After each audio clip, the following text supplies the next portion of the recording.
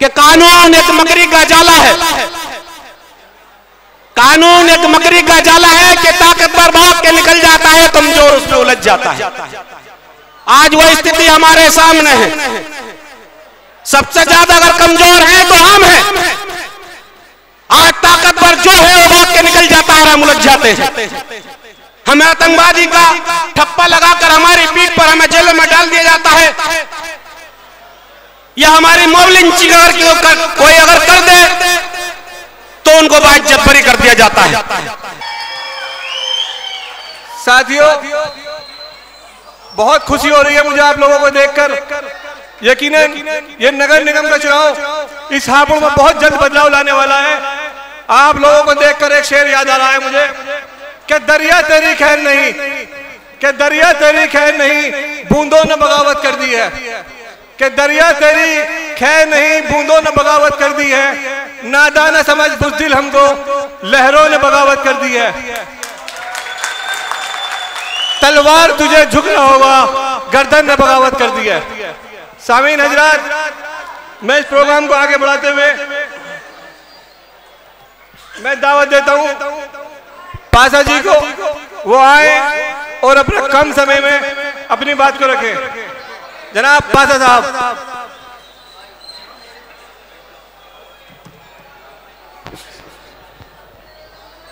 आउज़बिल्लाहिमिनश्शैतानिर्रजीम बिस्मिल्लाहिर्रहमानिर्रहीम नअबदुहु व नुसल्ली अलैहि रसूलिल करीम, अम्मा बाद आउज़बिल्लाहिमिनश्शैतानिर्रजीम बिस्मिल्लाहिर्रहमानिर्रहीम स्टेज पर तशरीफ़ फरमा।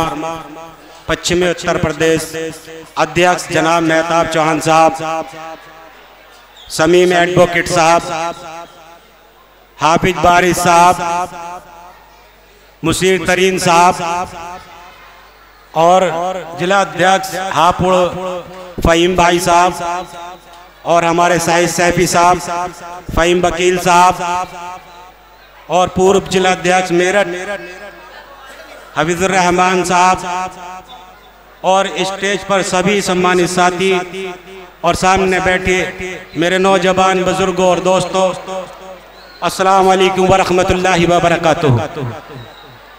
भाई, कुछ बोलने से पहले सभी भाइयों से मैं निवेदन करूँगा कि दो मिनट हमारी तकरीर को सुन लें।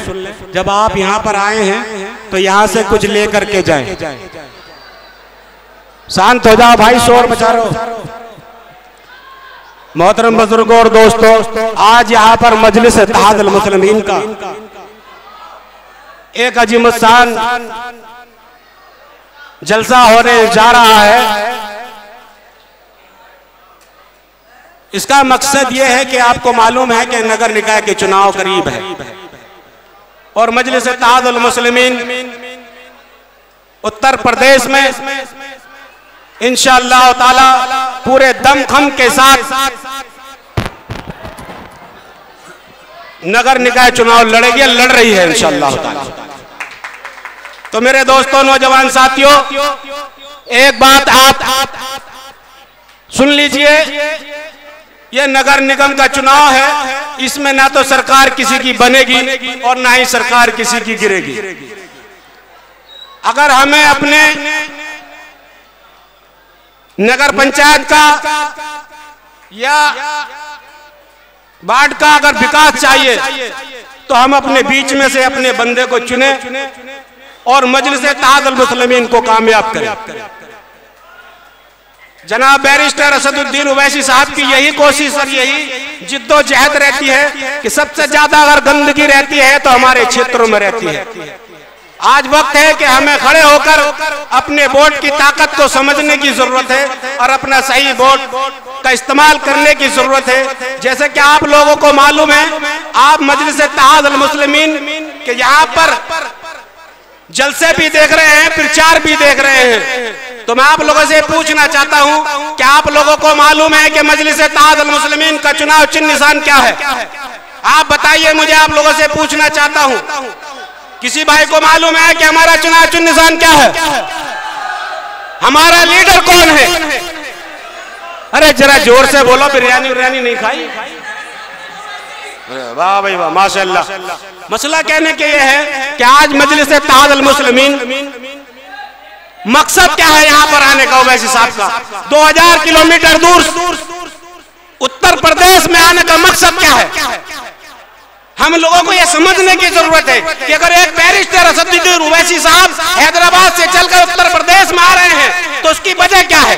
उसका कारण क्या है? उसका कारण यह है कि हमारे अंदर, उत्तर प्रदेश के अंदर, जो हमने पिछहत्तर सालों से वोट दिया और उनको नोट दिया, जिन लोगों को हमने इकतदार में बैठाया, उन लोगों ने हमें इंसाफ नहीं दिलाया। ना हमारे क्षेत्र में शिक्षा का मामला आया, ना रोज़गार का, ना ही विकास का कोई मसला हो। तो आज उत्तर प्रदेश में नहीं ताला मजलिस तादल मुस्लिमीन पूरे भारत में चुनाव लड़ेगी। अगर आप लोगों का सहयोग मिला और साथ मिला तो ताला आने वाला जो भी इलेक्शन होगा, हम फाइट करेंगे।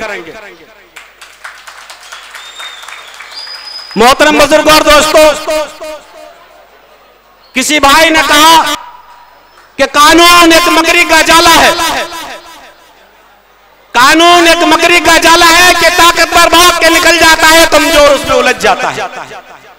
आज वो स्थिति हमारे सामने है। सबसे ज़्यादा अगर कमज़ोर है तो हम हैं।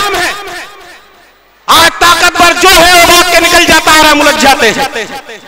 हमें आतंकवादी का ठप्पा लगाकर हमारी पीठ पर हमें जेलों में डाल दिया जाता है।